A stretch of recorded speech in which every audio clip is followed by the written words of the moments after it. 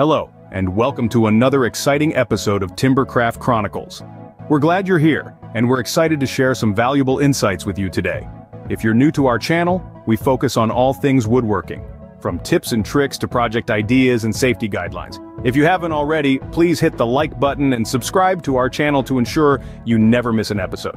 Today we're diving deep into a topic that's crucial for every woodworker, safety.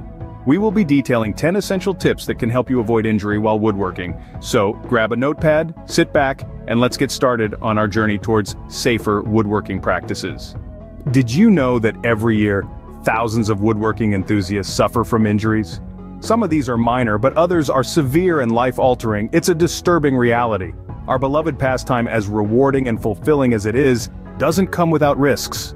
From minor cuts to serious accidents, the dangers lurking in the workshop are real. The importance of safety in woodworking cannot be overstated. But here's the good news. With the right precautions, many of these injuries can be prevented. Now, let's dive into five of the most critical safety tips that can help you avoid injuries. First off, don your safety gear. This isn't just a fashion statement, it's a necessity.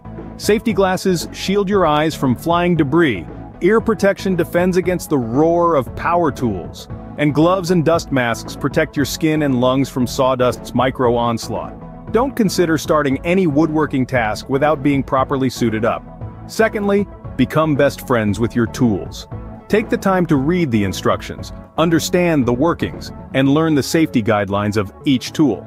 Remember, improper use of tools is not only a faux pas in the woodworking world, but it's also a leading cause of injuries. Thirdly, embrace the art of organization.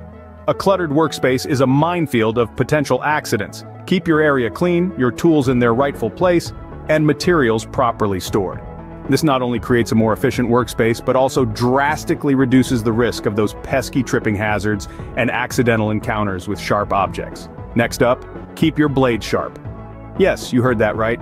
Dull blades are actually riskier because they require more force to cut through wood, increasing the chances of a slip or a kickback. So keep your blades sharp for clean, precise cuts and a safer work environment. Lastly, master your technique. This is not the time for freestyling. Maintain a firm grip on your tool, keep your hands at a safe distance from the cutting area, and use push sticks or featherboards when needed. It's all about guiding the wood through power tools safely, and remember, reaching over or behind a moving blade is a big no-no.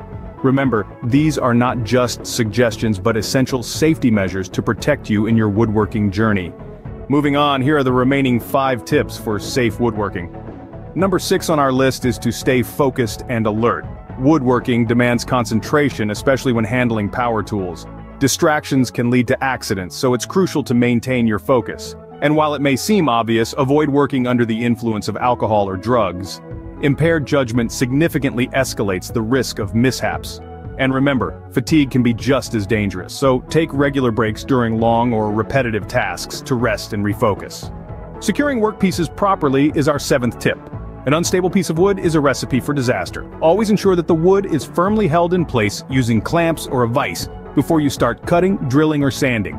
This way you prevent the wood from shifting unexpectedly, thus reducing the likelihood of accidents. Moving on to our eighth tip, always disconnect power sources. Before making adjustments or changing blades on your power tools, make sure they're disconnected from the power source. It's easy to accidentally activate a tool while you're adjusting it, which can lead to severe injuries. Ninth on our list is to use tools for their intended purpose. Each tool is designed for a specific task.